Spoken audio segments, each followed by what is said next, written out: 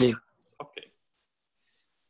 Good evening, everyone. On behalf of Servier GCC Medical Affairs, would like to thank you all for attending our educational webinar under title of Acute Lymphoblastic Leukemia Challenges, Definitions, and Management Strategies, which is the second module of Lesson Learned from Global Approaches in Managing ALL Patients. We are delighted to have these modules endorsed regionally by Emirates Society of Hematology and Saudi Society for Blood Disorders and the Saudi Arabian Pediatric Hematology Oncology Society, and also globally through ALL Care and Research Network. Now, I'm pleased now to introduce our uh, eminent chairman, Dr. Firas Al-Farayh. Dr. Firas Al-Farayh is the president of Saudi Society for Blood Disorders. He is also director of the Alternate Stem Cell Donor Program and consultant in adult hematology, hematopoietic stem cell transplantation at King Faisal Specialist Hospital and Research Center in Riyadh, Saudi Arabia. He got his medical degree from College of Medicine at King Saud University, and also he got his training at Princess Margaret Cancer Center in Toronto, Canada. He is also member of several national and international organizations, including American Society of Bone Marrow Transplant, Canadian Bone Marrow Transplant Group, and the World Marrow Donor Association. Moreover, he is a reviewer for many journals like Annals of Saudi Medicine, Journal of Hematology, Oncology and Stem Cell Therapy, Journal of Applied Hematology. Dr. Firas Al-Farayh, the floor is yours.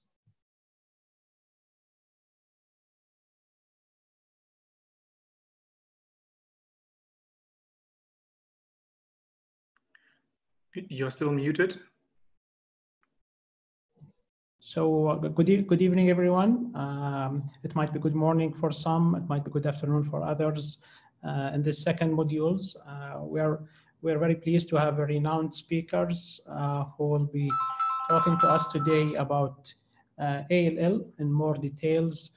Uh, so we have Professor Scott Howard, who worked in the, previously in St. Jude Hospital. He also um, has multiple uh, extensive international collaboration, outreach, and he's, a, he's one of the founders of Resonate.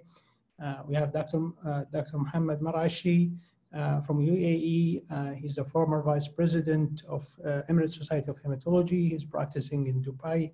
And we have Dr. Wasil Jastaniah, chairman of uh, Oncology Center, Princess Noor Oncology Center in King Abdulaziz Medical City in, in Jeddah. Uh, so today, uh, today, today, this is the second module. Uh, the first one was last week. Uh, we hope we will receive uh, the full recording and then we'll, it will be shared for all those who missed the first module. So in today module, so the agenda will be so Dr. Howard, he will talk to us about further steps for improving outcomes of ALL patient. Uh, then we will have a, dis a dis combined discussion uh, between Dr. Howard and uh, Jastaniah uh, on challenges in asparaginase management. Then we will move to the Q&A uh, section. Uh, I would kindly, kindly ask you to mute your audio during the presentation. If you have a question, please type them in the chat. all the questions will be addressed in the Q&A session. without any further delay, I uh, I ask Dr. Howard to start the first talk. This is Manette, this is not Dr. Howard. Dr. Howard's um, internet was cut just now, so he will be online in about five minutes. So maybe I suggest, um, Dr. Wasil, would you like to go first, or should we give uh, Dr. Howard two or three minutes to get online? I'm happy to do both as you wish. Um, what do you think, uh, Firas? I think I think just for the sake of time, maybe you can start, Wasil. Sure. Okay. So I, I'll share. If I can share my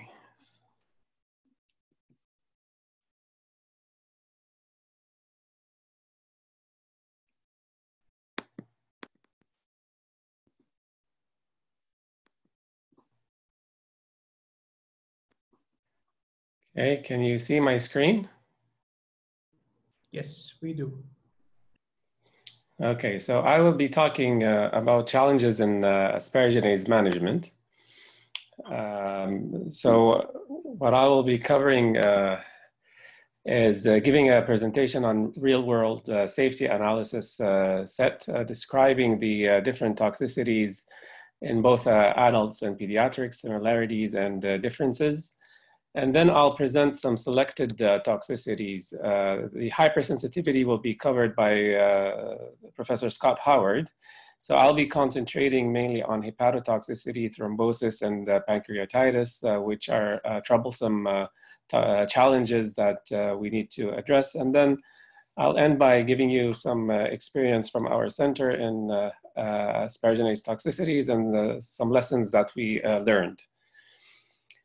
So uh, this is the uh, real world uh, safety uh, analysis set uh, that uh, looked at both the pediatric age group from 0 to 18 years of age and the adult age group from 14 to 68. And as you can see that the toxicity profiles are similar in both adults and pediatrics in terms of occurrence. However, the incidence of the uh, toxicities vary between pediatrics and adults. For example, in, uh, allergy and hypersensitivity is more commonly seen in the pediatric age group uh, compared to the adult. However, uh, if you look at other organ toxicities, such as liver toxicity, you see that it's the most common toxicity occurring in the adult age group. Uh, thrombosis is seen in both, but with more common uh, incidence uh, in uh, the adult age group with some studies uh, showing up to 40% of adults having thrombosis during asparaginase therapy. And again, pancreatitis more frequently seen in the uh, adult age group, but also with a substantial percentage uh, in the uh, pediatric age group. So I'll be covering the hepatotoxicity, thrombosis, and pancreatitis. So hepatotoxicity is the most common adverse event in adults, uh, but uh, uh fortunately, it's uh, always, almost always asymptomatic uh, with only lab abnormalities observed.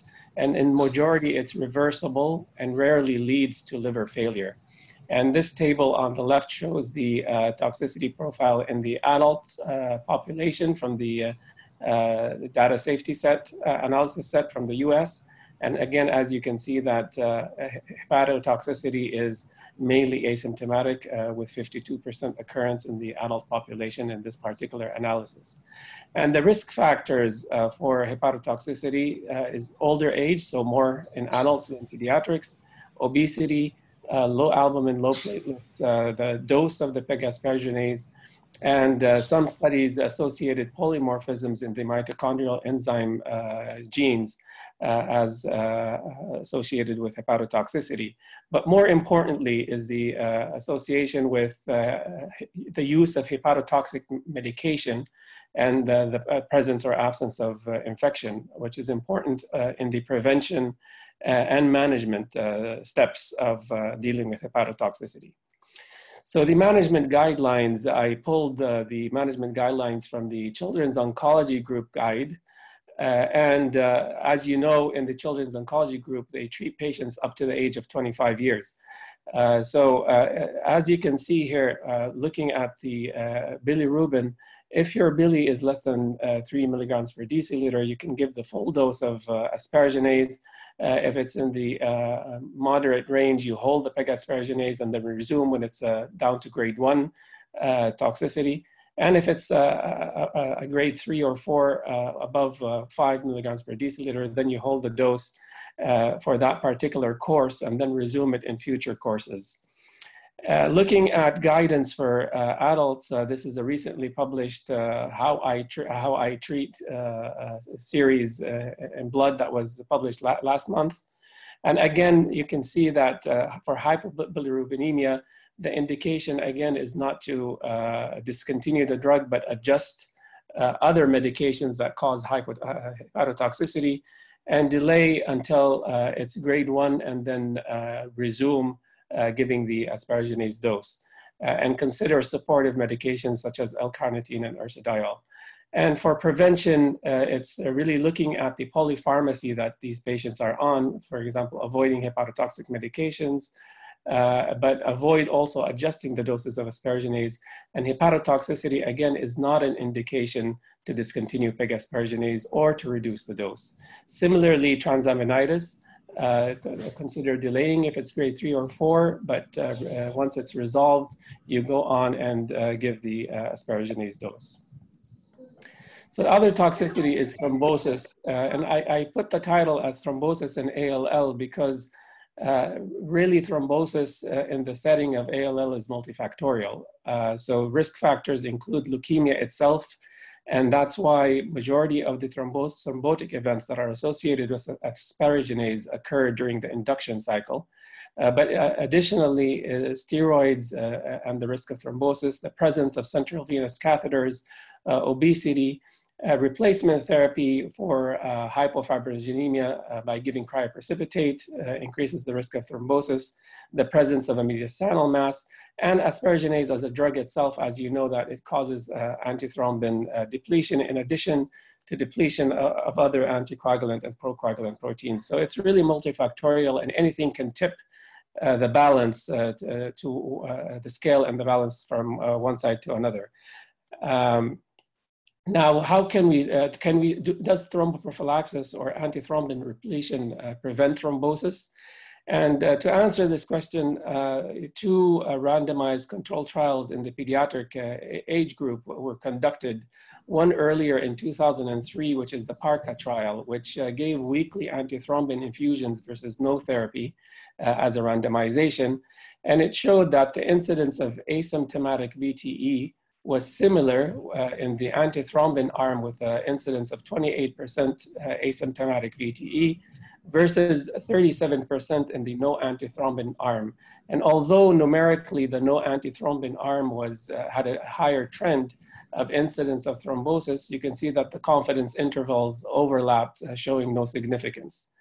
The Thrombotect, which is, was recently published uh, last year, uh, randomized between enoxaparin uh, antithrombin uh, alone versus low dose unfractionated heparin as thromboprophylaxis. And uh, that study showed that uh, VTE was higher in the unfractionated heparin group. However, the enoxaparin and antithrombin groups had similar uh, VTE event, uh, events.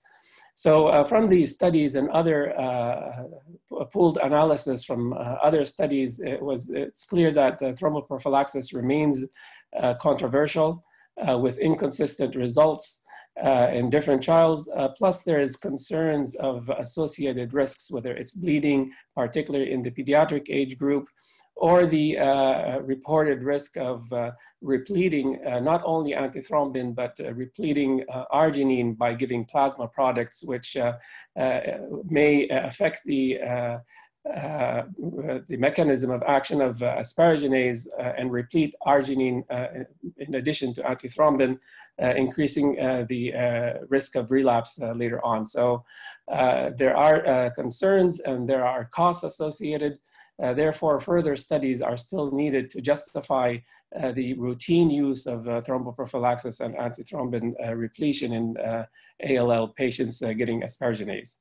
Recently, the ISTH uh, published uh, guidance uh, on the use of antithrombin repletion during courses of asparaginase, and they did a pooled analysis of studies in adults. And as, as you can see, majority of the studies, except one, uh, favored the use of uh, antithrombin, and the pooled analysis was in the favor of uh, using antithrombin.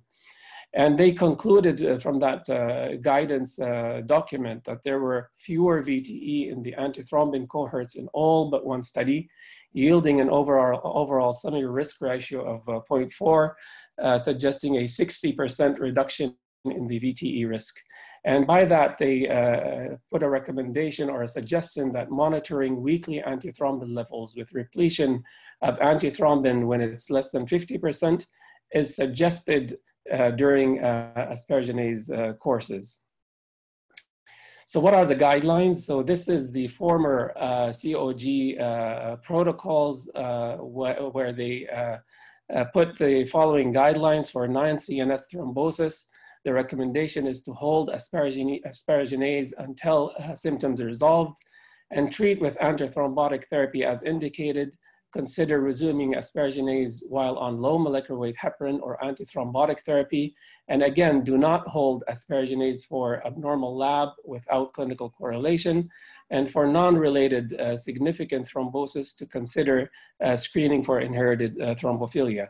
And for CNS uh, bleeds, thrombosis, or infarction associated with asparaginase, again, hold asparaginase uh, treat as appropriate. So if it's bleeding, then FFP and factor replacement. If it's thrombosis, then anticoagulation as appropriate. And then you can resume asparaginase with, when symptoms resolve. And if it was a CNS uh, thrombosis, then you need to see uh, radiological evidence of recanalization before resuming uh, the asparaginase. And again, consider inherited thrombophilia workup. Now, in the most recent uh, COG protocols based on the uh, Thrombotect study and uh, other guidance, they added the uh, consideration for re repleting using antithrombin uh, 3 as indicated if levels are less than 50%. And also they added uh, the statement of considering measuring and repleting antithrombin during subsequent courses of asparaginase if uh, you were unable to achieve therapeutic anti-10A with uh, enoxaparin or low molecular weight heparin uh, treatments. But again, all other recommendations remained the same as the former uh, uh, COG uh, management guidelines.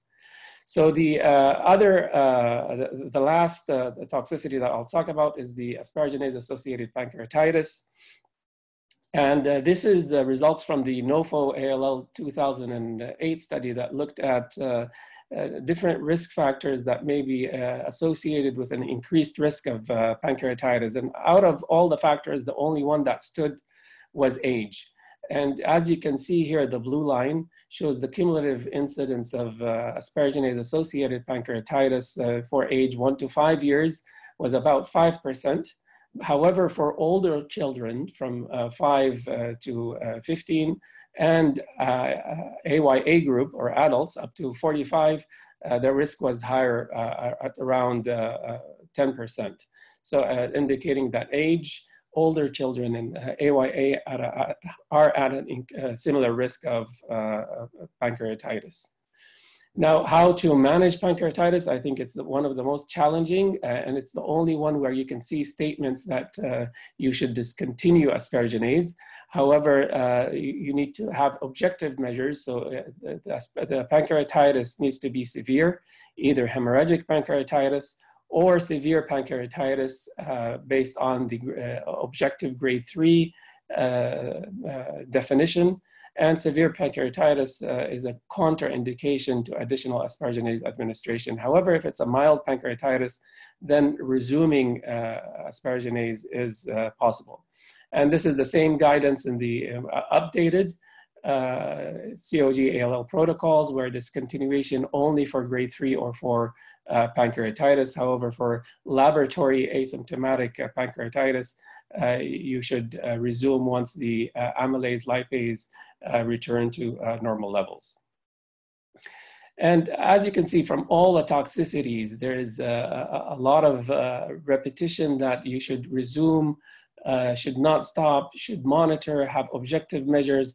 And that's because we have enough evidence to show that missing asparaginase doses is associated with a significantly inferior disease-free survival as presented in the first module uh, from uh, the uh, most recent uh, COG uh, paper that uh, we showed last time. And again, the red line is those that had missing asparaginase doses compared those that had all their asparaginase doses, whether it's PEG asparaginase all through or PEG and then substituted with Erwinia for hypersensitivity, but received all therapy.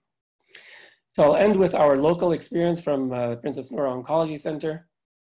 And uh, the, this is the toxicity profile in the uh, pediatric uh, age group from 1 to 14 years of age, uh, uh, with courtesy to Dr. Najla Al-Imam, who is working on the toxicity paper in our study. and the adult from 14 to 39 years was published in abstract by Dr. Salim Al-Dada. Uh, and as you can see here, uh, hypersensitivity was observed in 11% of patients. And not a big issue. It's actually not reported in the adult, indicating the minimal reactions that are observed. And if you look at thrombosis, 70% of the pediatric population, almost two and a half uh, fold increase in the adults with 17% in our center. The pancreatitis was uh, substantial with 3% in pediatrics and 4% in the uh, adults uh, cohort. Analyzing the pediatric toxicities, uh, these are uh, the red uh, bars show the grade three to four toxicities. And as you can see that for hypersensitivity and thrombosis, majority are less than grade three, four, and less than 5% were uh, grade 3, 4. However, in the pancreatitis, uh, majority were uh, grade 3, 4 uh, toxicities in the pediatric age group. Now, uh, looking at the hypersensitivity, uh, we looked at when did this hypersensitivity occur? And as you know, a majority of high, most, time, most frequently, hypersensitivity occurs with the second or third dose in the consolidation phase, but can occur after any dose. Now, what we did in, uh, uh, in our study, we actually used PEG asparaginase in induction consolidation, and then we chose to use native E. coli in interim maintenance. And it seemed like a good idea at the time uh, because uh, we uh, thought that uh, using a Capizzi interim maintenance with interactions between asparaginase and methotrexate, either antagonizing or, or uh, uh, having an additive effect to methotrexate depending on the timing. We thought that a long-acting may be uh, not the best idea, so we uh, gave uh, E. coli, native E. coli during interim maintenance, and then uh, followed by PEG asparaginase in all other phases. However, to our surprise, what we found is that majority of the hypersensitivity reactions occurred uh, during the uh, interim maintenance phase, uh, with also an, a, a relatively higher DI hypersensitivity reactions occurring in DI compared to the consolidation and induction phase. So we thought that uh, maybe uh, sequence does matter. So we know that uh, when pegaspargase was uh, first approved, it was approved also uh, in patients that reacted to native E. coli uh, initially. And uh, those patients, uh, majority of them, almost 70% of them were successfully transitioned to PEG asparaginase, having a less hypersensitivity or allergic or immunogenic, immunogenic effect on, on the patient. So that looked like a, a good sequence uh, to use if you had uh, hypersensitivity to E. coli to start with. However, uh, what we did in, in our uh, protocol is that we used uh, E. coli sandwich between uh, two PEG asparaginases, and we saw that there is an increased incidence uh, in that particular phase of hypersensitivity. So that looked like a, uh, a bad sequence uh, to, to use PEG asparaginase in E. coli. And I guess probably the best sequence is to use PEG asparaginase all through the cycles uh, and that uh, PEG asparaginase is reported to be less immunogenic uh, compared to E. coli, native E. coli asparaginase. So managing hypersensitivity is challenging and uh, sequence seems to matter. Uh, and we are currently looking at uh, different uh, variables to uh, look at, look at this sequence event in asparaginase management. And this is a slide that I borrowed from Scott again, that uh, showed in the St. Jude when they used the E. coli, the, uh, the hypersensitivity was uh, significant. In the NOPHO, when they used uh, uh, PEG asparaginase IM, uh, the, it was less problematic. And in the UKALL 2003, when they used PEG asparaginase on day four of steroids, the incidence of hypersensitivity significantly reduced compared to previous other studies. However, in our uh, uh, PEG native PEG sequence, it seems that it was a bad sequence to choose. So we shifted uh, in our recent protocols to use uh, the uh, PEG sequence IV and trying to time it with the steroid pulses as well. So thrombosis is the other thing we looked at. And again, as mentioned, uh, majority of the thrombotic events occurred during induction. So 88% of the thrombotic events occurred uh, in induction with 60% associated with a central venous uh, catheter. Majority of the uh, events uh, by, uh, were CVC line related, so 60% or 59% CVC line related, and majority were extra CNS uh, with only 12% of the thrombotic events in the uh, central nervous system. Pancreatitis, uh, again, occurred only at 3%, with the majority either in the induction phase or in the DI phase, which have uh, a different set of medications that are already uh, been reported uh, to be associated with pancreatitis. So for example, in DI, you use cytarabine. in induction, you use doxa methotrexate You use steroids uh, in, in both the DI and induction phase, uh, Septra, voriconazole, uh, paracetamol, and omeprazole, all these drugs, uh, you need to look at the polypharmacy to reduce uh, the incidence of recurrence of uh, high amylase or lipase and prevent pancreatitis in, in, these patients. so I conclude by, um, I hope I was able to show you that asparaginase therapy is associated with higher cure rates and missing doses is associated with inferior disease-free survival. And although asparaginase is associated with unique toxicities, majority are uh, fortunately reversible, manageable, and non-fatal. And that's why uh, there's a clear uh, guidance that uh, continuation of uh, asparaginase uh, is needed and objective measures to discontinue are need to be practiced. and temporarily holding therapy may be needed during acute events but discontinuation is uh, rarely uh, indicated. And I'd like to conclude with my uh, stay at home effect here. Uh, or stay at homer. And this is actually the asparaginase molecule. So with uh, all the lockdown uh, and no barbers around and staying at home, I imagined it to, to, be a uh, aspro rather than an uh, asparaginase molecule or an afro. So uh, thank you very much.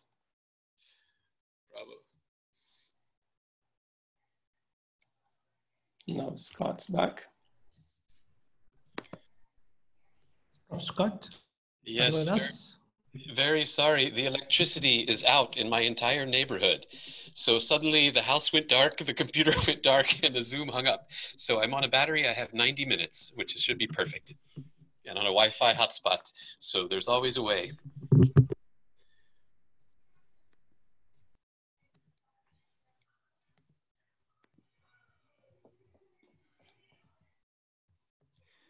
Um, so I have to ask you, dear friends, to use your imagination. I thank you, chairs, and thank you, Wasil, for your flexibility, and Manette for making this smooth.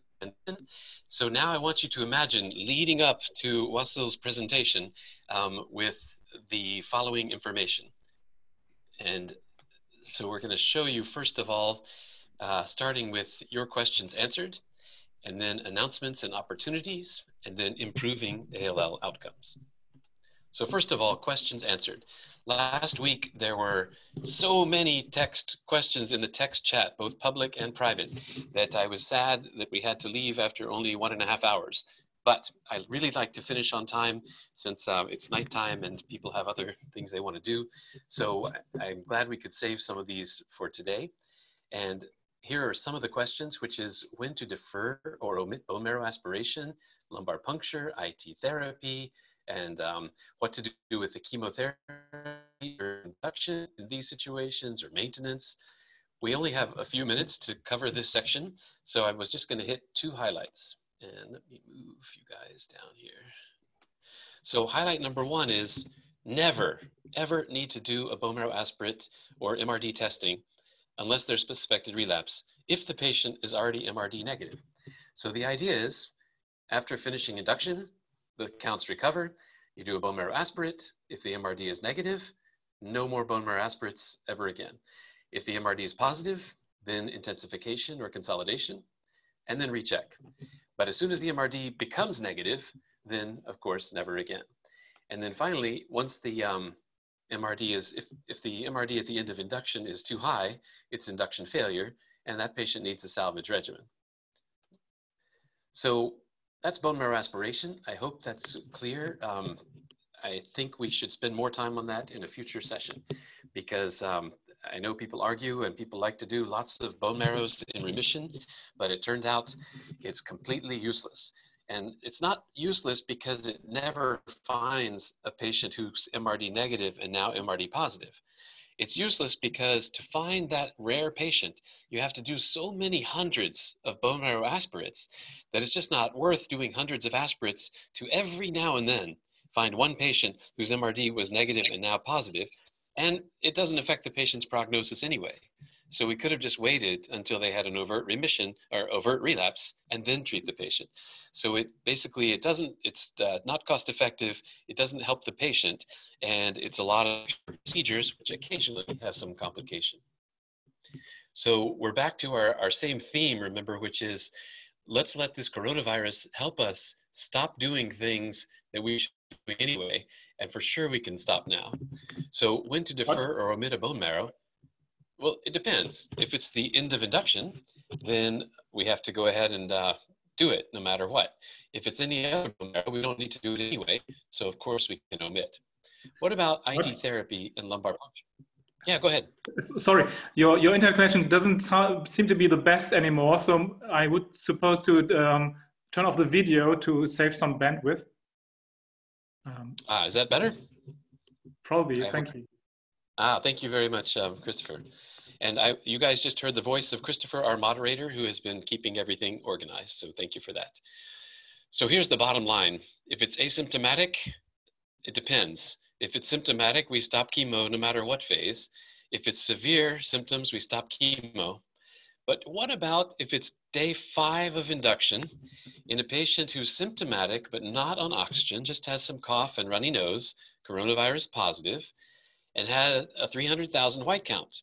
Do you stop everything? Do you continue just prednisone? And so I put here stop as a general rule, but really the truth is it always depends on the rest of the situation. If the patient is on a ventilator and has, uh, you know, is fighting for their life, then you might still want to continue the prednisone because it's anti-inflammatory and it's useful to keep the blasts from growing. So even though it says stop here, it really means stop unless the situation requires it.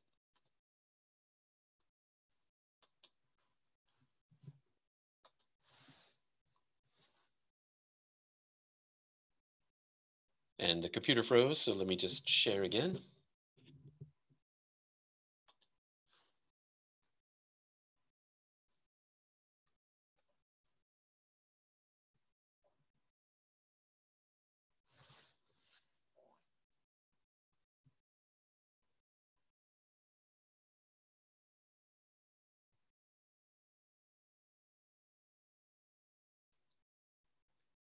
So this study is a very important study from Wuhan, and it shows us that the longitudinal course is really important. Patients start with fever and cough, which can go on for an entire week before they develop dyspnea. Dyspnea is in the dark blue here, and then about five days of dyspnea before ICU admission, and then usually a week of ICU admission before either recovery or down here are the patients who died of COVID-19.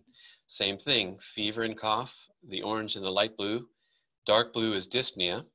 And then ICU admission in green and um, invasive ventilation here. And then average median time of death is day 19. During this course though, the troponin in the patients who die goes insanely high. So even at day four, before they even have dyspnea, a patient who's going to die of coronavirus will already have a troponin of average of 8.8, which means above 10 is heart attack level.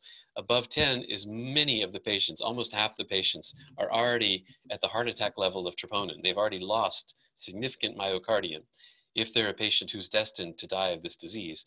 By day seven, it could be an average of 25 and every patient has elevated troponin by day seven if they're ultimately destined to die. So troponin is a really helpful biomarker because if you measure troponin on day four, I would stop all chemo in that patient for sure and consider various alternative and experimental therapies. D-dimer, same story. The D-dimer is already elevated by day seven and gets really high in subsequent days. So D-dimer is a really important biomarker. And then IL-6, again, it's elevated even in the early days in the patients who are destined to die of disease. So you can see a lot more details about the longitudinal course of the COVID-19. Just go to the education platform. And yesterday we had a whole discussion just about this, which will be posted on Tuesday or Monday. And then next Friday on May 8th will be an additional discussion focusing on coagulopathy. Also, the last week's um, GCC edition is already available. I'll show you here, right here, the um, seminar series and here's lessons learned from global approaches, just like what we saw last week. So if you missed something last week, please uh, go there and watch that anytime you wish. So when to defer a bone marrow? It depends. Anytime, if it's not a remission marrow, defer it, actually eliminate it. How about lumbar puncture? Let's take a look. So here's um, some suggestions about lumbar puncture, which is in the orange, that's an intra-Ommaya injection of chemotherapy. 100% of the dose reaches the spinal fluid around the brain. In purple here is a patient who gets an intrathecal lumbar puncture with injection of chemotherapy and lies flat for one hour after the intrathecal dose. And you see that 10% of the methotrexate gets up to the CSF around the brain. Here's the level you need to kill ALL. So we see that typically doing a lumbar puncture, you've really got to lie flat for an hour because if you don't, only 1% of the methotrexate reaches the area around the brain. So this is intra-Ommaya, intrathecal, lying flat for one hour, intrathecal, getting up and going. So when should you defer a, a, lumbar puncture with IT therapy? Well, if you don't make the patient lie down, you're not doing the patient any good at all. So you might as well skip that lumbar puncture because it wouldn't have helped the patient. So of course, if we're gonna do any procedure, we wanna make sure that 10% of this chemo is gonna make it up to the brain and spinal fluid around the brain even under the best situation, 90% stays in the uh, lumbar area. But if we let this patient go walking around right after the lumbar puncture, this 10% drops down to only 1%.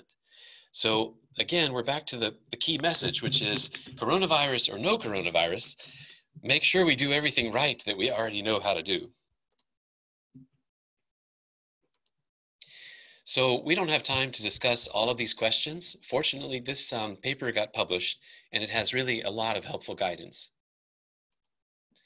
So each um, phase of therapy, it talks about what's the standard of care, what are some challenges, what are some alternatives, and then some additional comments.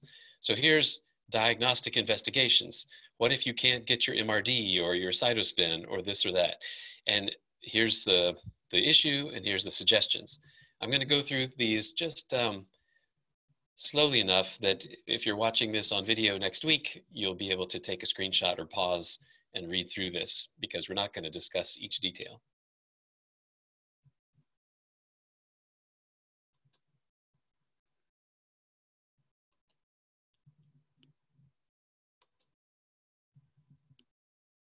We are going to discuss a couple of asparaginase details in a second.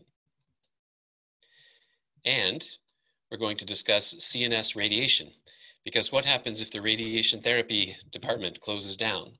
What are you going to do? Well, here's an example of something we never should have done anyway, because no patient with ALL needs radiation therapy to control their CNS, never again.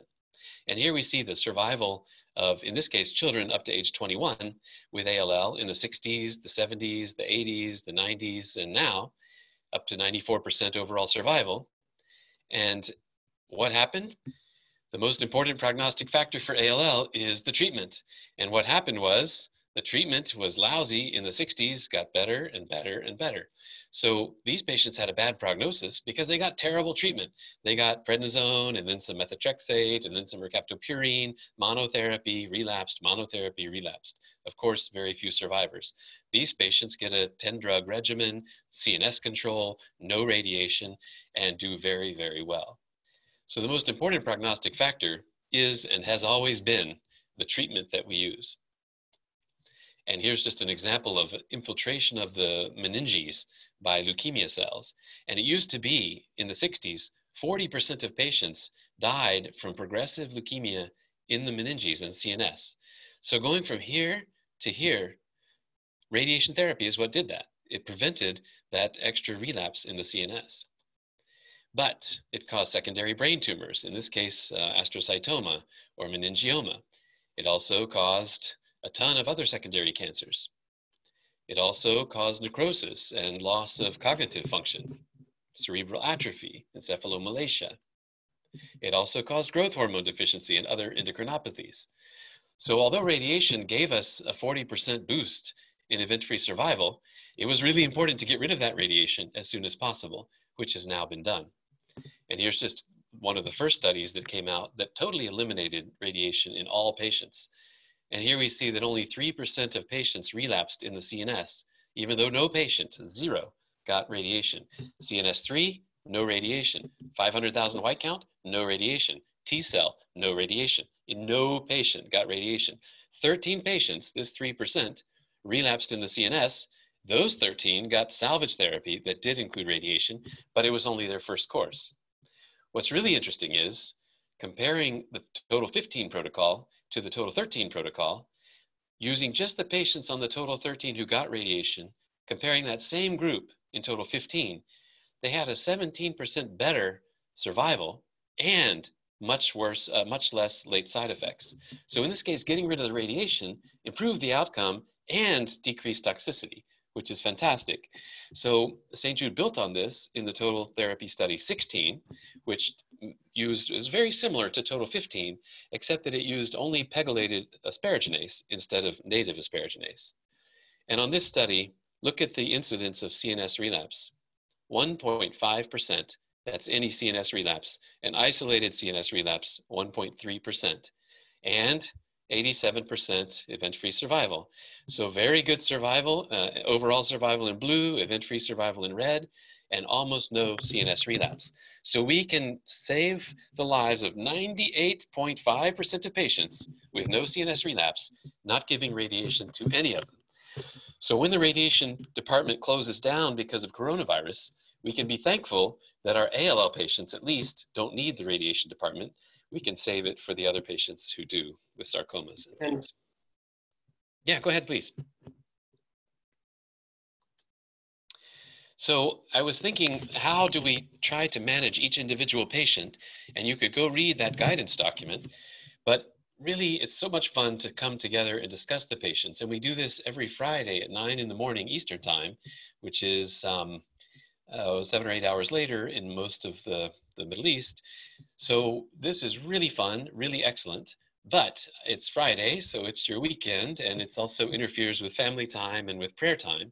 So I was going to propose that we develop uh, ALL Research and Care Network GCC edition, perhaps on Tuesdays. And I would love it if you would put in the chat area if you would have interest in this. Uh, the forum would be you get your Zoom invitation if you're if you sign up and you're interested, and then we discuss cases one by one. We give uh, short lectures presented not by me, not by Wasil, but by all of us, any of us. And if we have a research update from our hospital or from our research group, that would be the place to also present research updates and get feedback from our colleagues. So please type it in the text if that would be interesting for you. So now I'm going to finish with the introduction to Wasil's very important lecture, Improving the ALL Outcomes. So how are we going to improve those outcomes? First, choose the best protocol. Second, follow the protocol. Third, adapt when we have to. And fourth, remember each component of the protocol. We've talked about CNS control and managing specific drugs. So I'm only going to talk about the part in green, and we'll have to save for a future meeting everything else. Again, though, put in the chat if you're interested, because when will those future meetings be? They'll probably be Tuesdays at a time of your choosing. So the first question is, what is the best protocol? And the first thing to ask is, how old is the patient? Because the best protocol depends on the age. And here are the age categories, five categories. So below this line here, young adult, adolescent, and child, up to age 50 years, that protocol would be the protocol, just like um, they're using at the Princess Noura Center in the UK, at Dana-Farber, COG. Everybody in the world basically treats up to zero to 50, gets uh, a pediatric inspired protocol, which has about nine drugs. It has usually a three or four drug induction, followed by the CNS control and maintenance, and rich in immunosuppression, steroids, 6-MP, methotrexate, vincristine, asparaginase. 51 to 64, controversial. Over 65, have to be extremely careful no matter what you do because of toxicity. But with asparaginase, these older patients really need a much, much lower dose and careful monitoring. The second thing though is not just age, it's also risk group, low, intermediate, or high. And some people call low risk standard risk, and some people call intermediate low risk, like at St. Jude. So you have to be very careful and read the protocol. Some people have a very low risk group and a very high risk group. So five groups. I feel like three risk groups is plenty. Uh, just like with Hodgkin lymphoma, people have all these risk groups, but actually two risk groups really can take care of Hodgkin lymphoma and three risk groups for ALL. So now we're going to talk about medicine by medicine, how to optimize each medicine to cure the most patients. And we're starting with asparaginase, but as the weeks and months go on, on Tuesdays, we can continue and discuss high-dose methotrexate and other medicines that have a lot of important um, side effects and management issues. Here's seven different studies that had two groups. The yellow group got less asparaginase, the green group got more asparaginase. So we see more asparaginase, more event-free survival more asparaginase, more event-free survival. Study number three was terrible in both arms, so forget it. Study number four, also both arms, not so good. But basically study one, five, and six are the studies that people use nowadays. The green arm of these three studies are kind of the standards around the world. I'm not going to talk about CNS control using asparaginase, but asparaginase is very important for CNS control because it eliminates the asparagine in the central nervous system. So here's the asparagine in the CNS before starting induction, during induction with asparaginase, and then afterwards. So we see that there's a depletion of asparagine, and that's why asparaginase can work in the CNS. But I wanted to finish with how can we prevent hypersensitivity to PEG asparaginase in 99.6% of patients. Choosing the best protocol, implementing it perfectly, and if we have to adapt, remember one key thing to always include in the adaptation.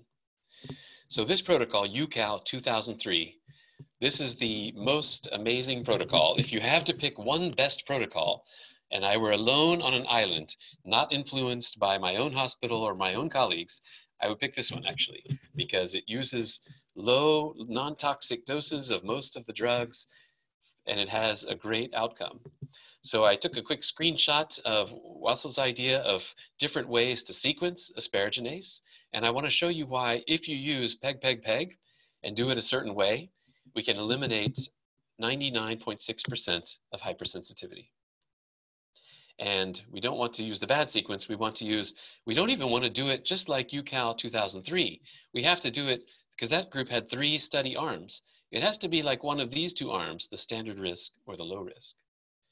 So here's the first thing to notice. What is the survival and the event-free survival of the patients on the UKALL 2003? This study went from age 1 to 25, but it had a sister study that went up to age 55. So between those, this study and its sister study, basically age 1 to 55, young adults, adolescent, and children are all covered by this protocol and its cousin, which is very similar. 87% event-free survival. So we already know this is a good protocol. Why? Because it works. The other thing we know is they had 3,000 patients on this protocol. So this result is extremely reliable. If you study 3,000 patients, you can have a lot of confidence in the findings had three groups, low risk, medium risk, and high risk. They actually called this low risk, standard risk, and high risk, but that's okay. Just like everybody, it's basically low, medium, and high. And here's the low risk chemo, the standard risk chemo, and I'll show you the high risk chemo next. Each time they gave PEG asparaginase, it was 1,000 units per meter squared. It was intramuscular, so they didn't have any ammonia problem. And it was always on day four of dexamethasone. Every time there was a PEG asparaginase, in this case there were three doses, it always landed on day four of dexamethasone. The dark blue here is dexamethasone.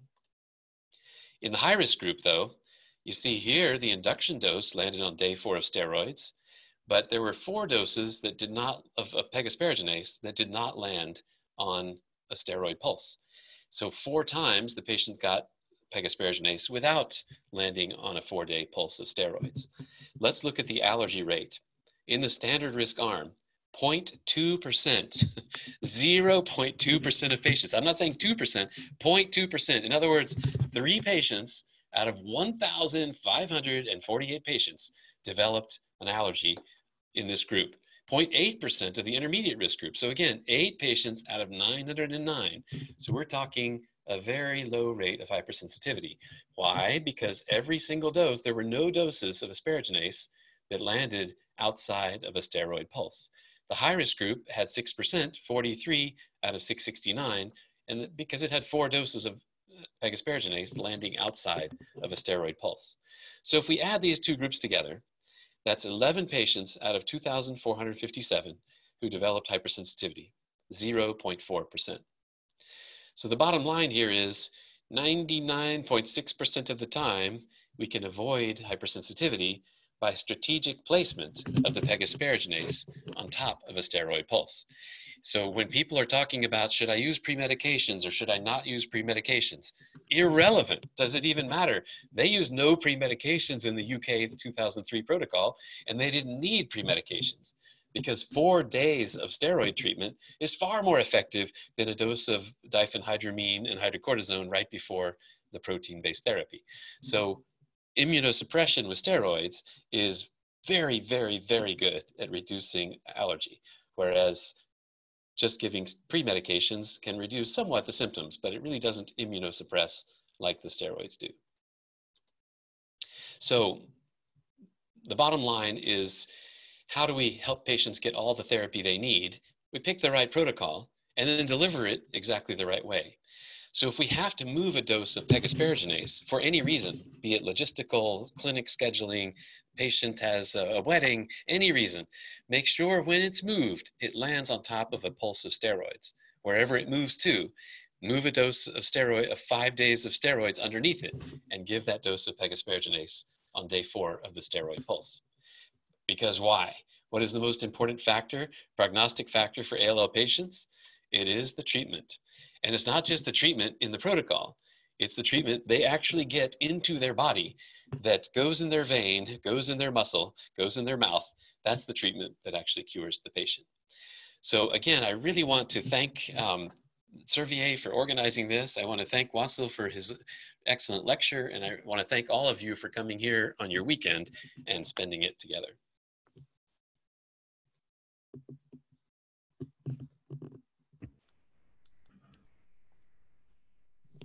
Over to you, dear Chair People.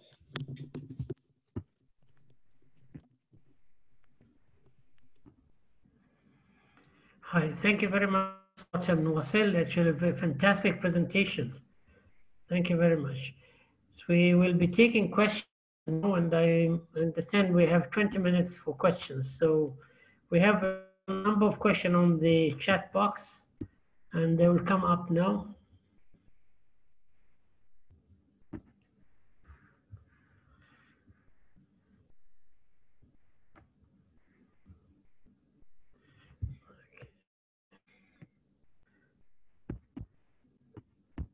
Okay, so for question for Wasil, how many patients, uh, uh, how many patients are you having in your cohort?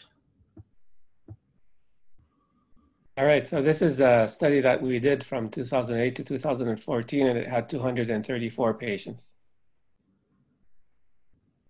Yes, and yeah, the second question is if uh, PT and PTT and D-dimer fibrinogen uh, are abnormality, what is a better plan? So if the patient is not bleeding, uh, so uh, it, it, depends, like, uh, are you testing it after the asparaginase or before the asparaginase and why are you testing it?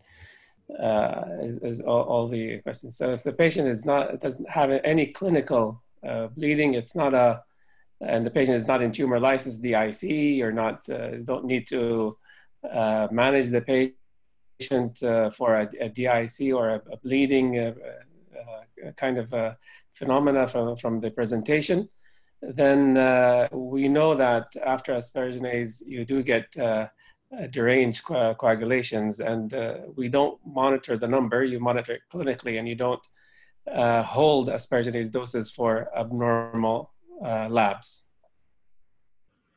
So the, one of the participants says that they don't have antithrombin and they check fibrinogen. If it is below 100, then they transfuse. Uh, is that uh, acceptable to you? What's your opinion on that management plan? Again, uh, as uh, uh, so mo monitoring uh, fibrinogen and antithrombin is not a standard. It's something that you can consider. Uh, most will, uh, like if you look at the COG guidelines, which uh, most of us follow in the region, they would only start measuring if the patient is on low molecular weight heparin treatment and your anti-10As are not uh, at the target level that you want them to be if you're on a treatment dose. Uh, so this is when you would uh, think of antithrombin resistance. Uh, so to help uh, manage your uh, anticoagulation, it is recommended to do the antithrombin level. And if it's below 50%, then you would replace. However, monitoring fibrinogen after asparaginase will just increase your anxiety as a physician. So uh, it's not recommended if the patient doesn't have any uh, symptoms. I think the next question is about the platelet. What is the platelet level that uh, you would transfuse platelet? Is it below 50 or at what level would you do that? Uh, well, being conservative, uh, particularly in the COVID uh, period, is really the way to go. So even in the non-COVID period, if you're talking about the patient that is not undergoing any intervention, like a lumbar puncture or, or uh, for an IT therapy or a surgery. Then uh, a cutoff of uh, 10 uh, is uh, safe, 20 if uh, a patient is sick or has a fever. then a cutoff of 20 is the like the cutoff that we use at our center. 10 for a stable patient and 20 for an unstable patient that is not undergoing an intervention. Now, if you are giving an intramuscular injection, uh, again, 20 is probably 20, 30 is the cutoff that I would use. But if you're using IV asparaginase, then you don't need to worry about the 10 and 20. Very good. Uh, I, this question, I think, is to somebody with ITP. I don't know what is the correct and accurate treatment that can be used with people with ITP and thrombocytopenia that you want to use asparaginase? Yeah, that's a interesting and a challenging clinical problem that uh, rarely happens, uh, particularly when the patient is in induction.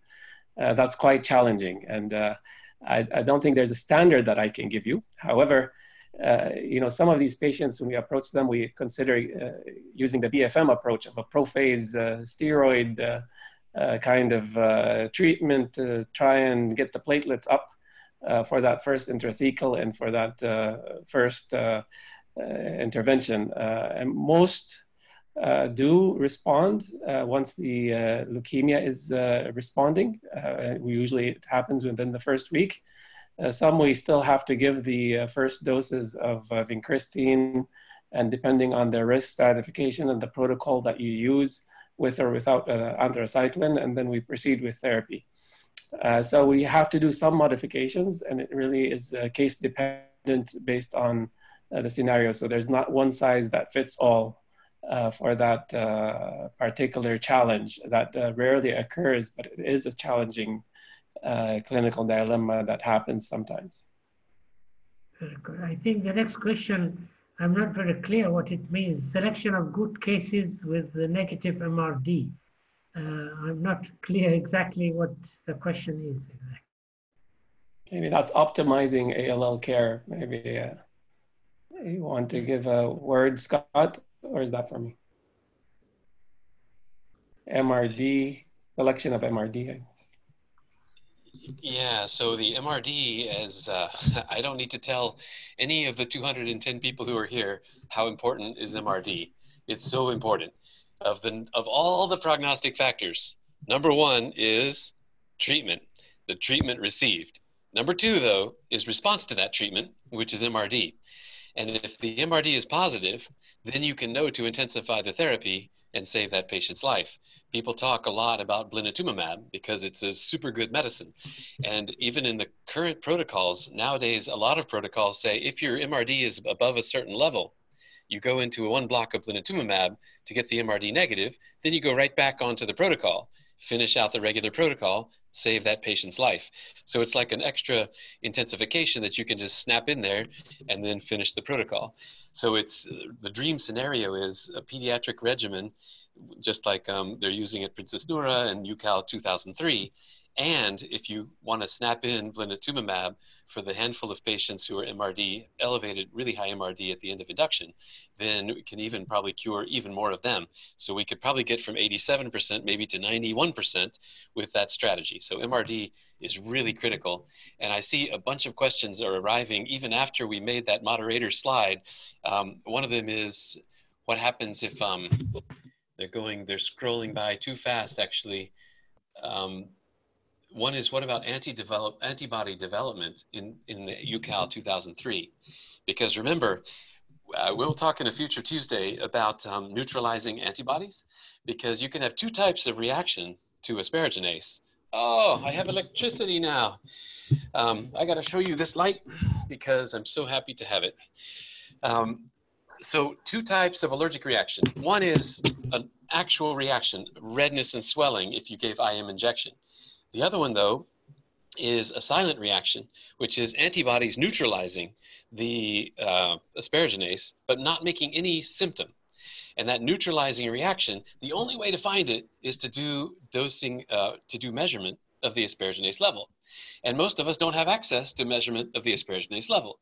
It's actually, uh, for example, in Saudi Arabia, I think there is no place right now doing uh, asparaginase levels unless things changed recently, Wasil. But I think it's not being done. The good news of UKALL no. 2000. Yeah. yeah, go ahead. Yeah. So UKALL 2003, you don't need to measure asparaginase levels because there's 0.4% allergic reaction. That 0.4% may also have some neutralization, but it doesn't matter. You're going to have to stop asparaginase in them anyway and switch to Erwinia. In the 99.6%, it turns out they also measured neutralizing antibodies in that protocol, and nobody had them. So, perfect protocol because it gets rid of the clinical reactions and the non-clinical neutralizing reactions. Why? Because immunosuppression. So uh, this is a really great question about MRD and about neutralizing antibodies. Can I ask you a question in the meantime, uh, Scott? Actually, when you do a lumbar puncture, don't you use the Trendelenburg position after injecting the therapy? That might help to uh, take the medication up to the CNS, which I'm using regularly, say for an hour, put them in Trendelenburg and turn them prone. I, I um, really love this question because I was wishing that we could have enough centers that would try one experiment, which is Trendelenburg for one hour versus deep, deep Trendelenburg for two hours. Because what if, uh, I agree with you, first of all, Trendelenburg flat is better than standing, far better, 10 times better. Trendelenburg is probably better than flat, but nobody's ever actually done that study. The flat versus standing, that was done in monkeys. And monkeys are very hard to work with. They're really wild and um, expensive. And so it's really hard to do these studies. In human, it would be totally unethical to do these studies because, first of all, we can't let any human walk away. We already know that's bad. Second of all, to test the CSF level, they had to do um, intraventricular punctures to take out the CSF for that level. So it's not ethical to do extra intraventricular punctures just to measure the level. But what we could do is say Trendelenburg for one hour, which is the best standard of care, absolute best practice. And then say, what about deep, deep Trendelenburg for uh, two hours to see if we can reduce CNS relapse even more. But I, I, and who could do this study? The people on this meeting, the ALL Research and Care Network. The care is what we're doing. That's why we're all here. But the research is how we improve the care. So I think it would be so cool if we would all agree maybe to consider a randomized study or a before and after study to say before we were doing one hour of normal Trendelenburg, starting today, or starting with any new patient today, we'll do two hours of deep Trendelenburg, and then we'll compare the before and after. And I think in one year, I think we can answer this question. Very good. Thanks so much. Thank you. Now, the next question is if the patient developed great hypersensitivity to PEG asparaginase and there is no Erwinase available, what do you do now next? What? what do you do, Wasil? Well, uh, it's, a, it's a common problem we're having uh, these days. So if the, the uh, uh, this I, I, have to like reinforce many times as the uh, ensuring that, that you really look at the uh, ensuring that you really look at the what happened to the patient. You uh, before you label a patient that he's anaphylactic or allergic to PEG asparaginase. So, uh, you know, infusion reactions uh, do not necessitate, necessitate switching to Erwinia.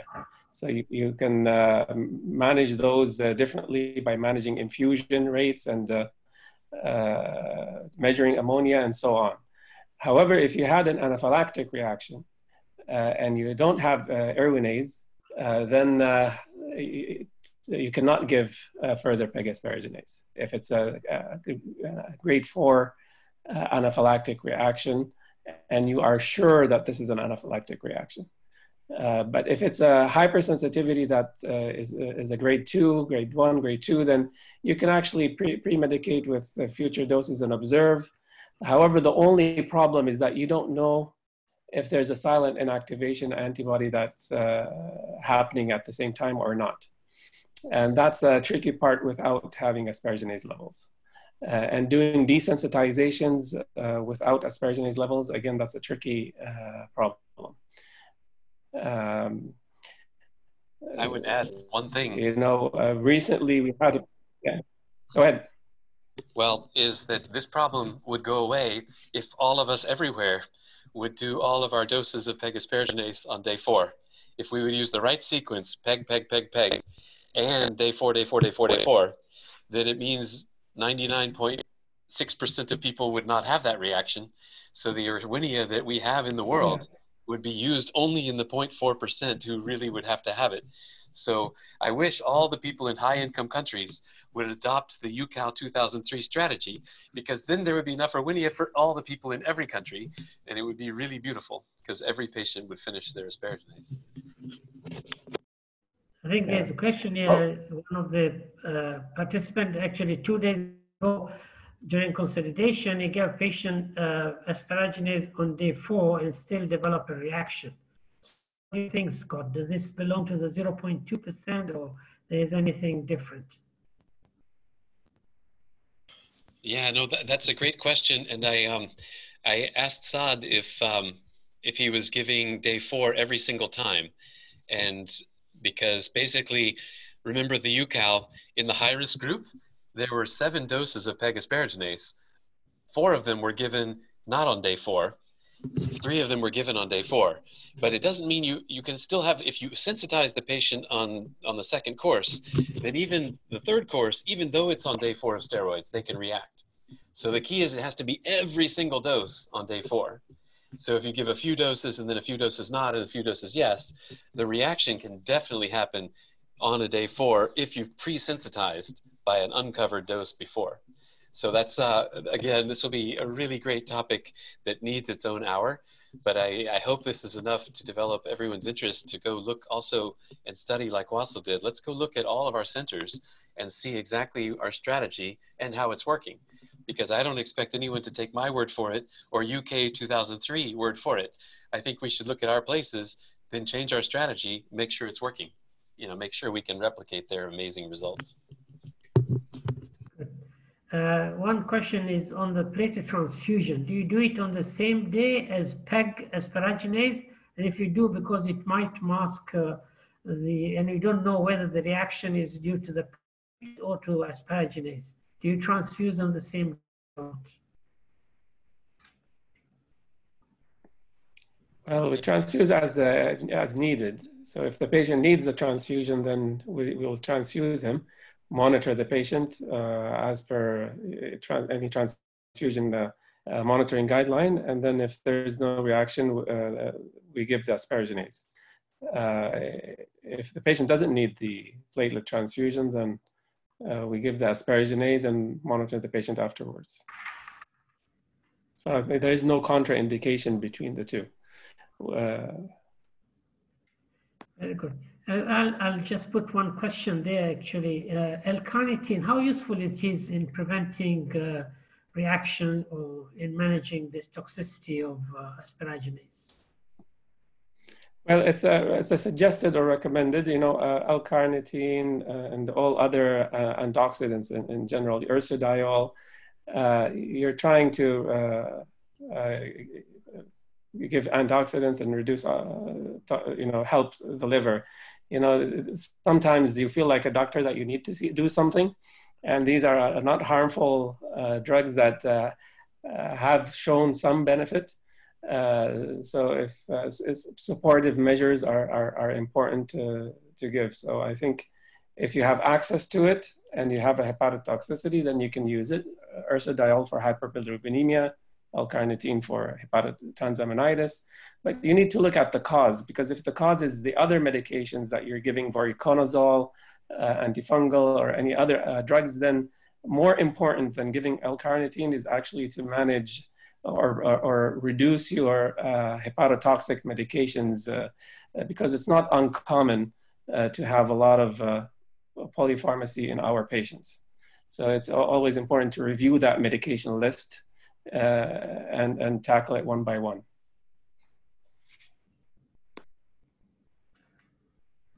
Thanks. Yeah. I think I think we have reached the time now. I think it's now uh, 10 minutes, uh, uh, 10 minutes over the time. So I would like to thank uh, Wasil for pre excellent presentation and Scott as well, and struggling through this uh, lack of electricity, and my co-chair Firas as well. And also I would like to thank uh, Servier for arranging this fantastic two session meetings and we learn a lot in this last uh, two sessions. Thank you all very much and uh, wish you happy evening and for Scott a happy day today.